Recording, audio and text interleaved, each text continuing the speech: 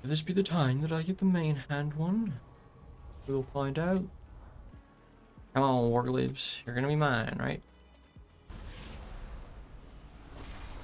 That, yep. Could this be the one that I get the last Warglaive? I've had that thing sitting in my bank since like 2014.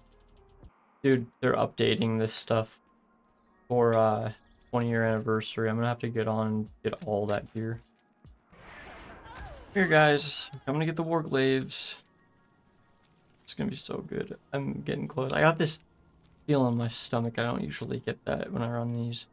Unless something good's gonna happen, but I've always been nervous if I say it out loud, it doesn't work. Last time I got the war Warglaive, I had this feeling like, I think I'm just gonna end up getting it this time.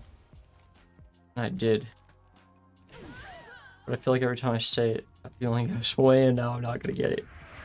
We'll see. It'd be funny if I even got one, even if it wasn't the main. I'd be so sad. It'd be sad if this actually uh, takes away my RNG for Invincible though, because I've been running Invincible far longer. Come on guys, get nervous here. No rush though, no rush, do your thing. We need the store open. Come on, baby. Come on, baby. I'll help you. That worked. That see? On guys, you ready? He's just sitting there all Illidan like ready for this man? This could be our last battle. This might be the hardest battle we've ever seen. You are not prepared. I'm gonna auto loot it. I'm gonna let you have the final say on this man. Do it. Cut off his head.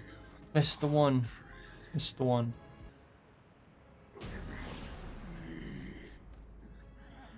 He is right.